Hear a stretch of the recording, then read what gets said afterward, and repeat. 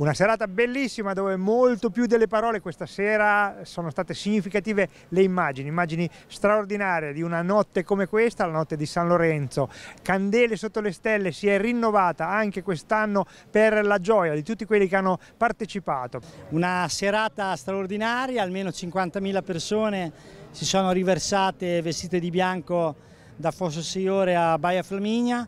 È una serata bellissima, più c'è Gabice e Gradara che non dobbiamo mai dimenticare che aggregano un sacco di persone. Una serata semplice, popolare, perché ognuno partecipa come vuole, basta vestirsi di bianco,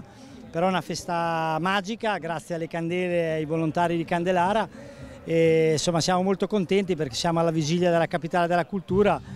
e quella di questa sera è una grande cartolina per spiegare che cosa sarà Pesaro nel 2024. Alle nostre spalle come potete vedere abbiamo la scritta Pesaro 2024 con il logo, il brand eh, per la capitale italiana della cultura che avremo il prossimo anno, quindi anche quest'anno siamo carichi, siamo pronti e i nostri volontari eh, stanno ritornando, eh, che hanno aiutato i vari bagnini sia nel piantare che nell'accendere i vari pali che sono lungo la spiaggia che creano questo serpentone di 7 km di candele. Una alla volta con i cerini, una alla volta, eh, quindi è lunghissima. No dai, 180 mm, minuti più o meno, 185, dai, due o tre ore ci vuole tutto tra spostare le candele, sistemarle, toglierle, eh, la carta, riciclare tutto quanto, quindi dai, circa tre ore di lavoro per una bella, immagino, una bella soddisfazione per tutti quanti. Eh, I numeri sono veramente alti perché abbiamo circa 20.000 candele di un peso complessivo di 20 quintali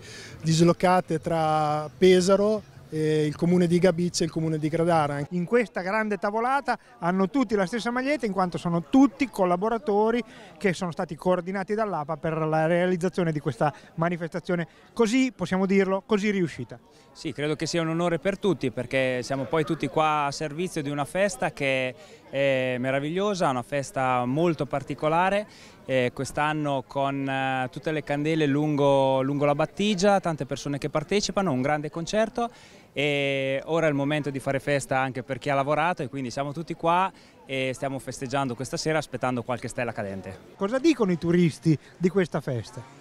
Allora, ai turisti piace, i turisti si trovano bene a Pesaro, tornano a Pesaro, abbiamo molte persone che tornano da anni ormai nella nostra città, è una città che può offrire molto e come sempre dobbiamo fare di meglio per essere più attrattivi e più accoglienti verso le persone che ci vengono a trovare. Una serata di festa ma che allo stesso tempo abbiamo voluto dedicare anche alla scomparsa di Roberto Biasotti oggi che ovviamente ci ha fortemente, fortemente colpito e tutta la città.